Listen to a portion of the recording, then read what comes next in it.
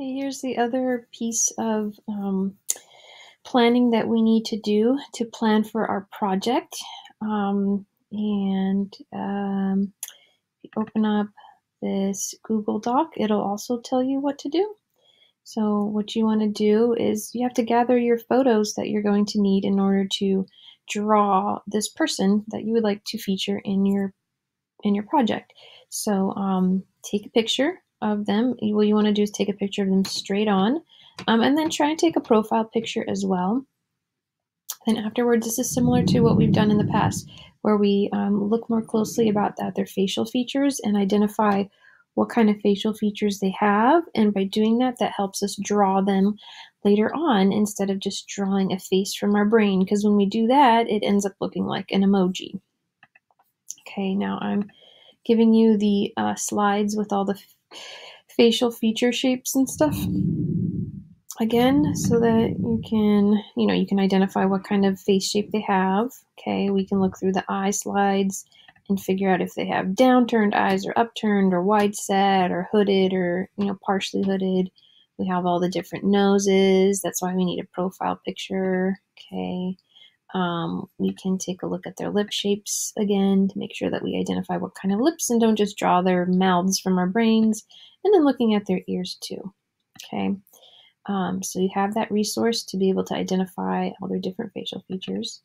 And then um, I'm going to give you my example here so that you can uh, see what you need to do. Okay, um, now again, you want to try and take a picture of their face straight on. That way you can see the proportions of their face much more easily. Um, yes, take a profile picture of them as well so that you can see what kind of nose and ear they have and everything. But um, it's important to get them straight on. If you try to take a picture of somebody from three quarters view where they're like slightly turned away, it's very, very difficult to draw. Another thing is you want to try and keep their mouth closed because if their mouth is open and you see their teeth and you try to draw teeth, my experience with students drawing teeth in the past is it ends up looking like chiclet gum stuck in their in their mouth, um, and uh, it just goes bad. I, I really would want to be in a classroom with you and teach you how to draw teeth the correct way because it tends to always go bad, even with kids that draw well. so, um, but here you can see I'm just identifying what kind of face shape my dad has. He's round, slightly slightly long, his eyes are extremely hooded and they're very thin and almond like. Um, he's got the medium hero nose. Um, he's got really thin lips. His bottom lip is a little bigger than his top lip. Um, and he's got the narrow ear. Okay, so that was simple enough.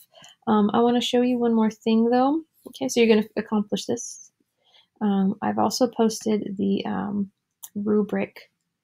um, that I'm going to use to grade your projects. So um, this is like some normal ones that you usually see here, like craftsman, craftsmanship is on there. Okay, so making sure your work is complete and well done.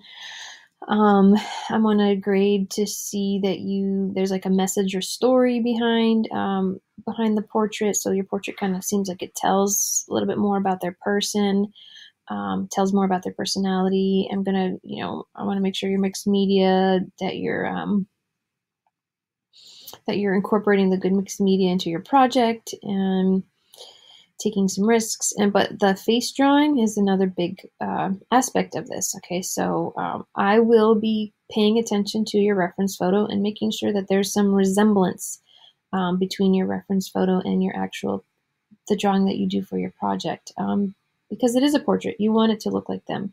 And the majority of you were able to um, create a celebrity drawing uh, two weeks ago that had some resemblance to the actual picture.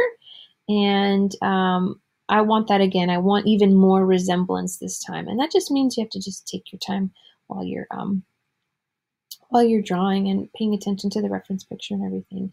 If you were able to get Angelina Jolie to look like Angelina Jolie, I'm sure that you can get your person to look like uh, their reference photo. Um, so I will be grading for that and looking for that. Um, and that's pretty much it. So make sure that you um, finish this reference photo portrait planning doc and um, submit it.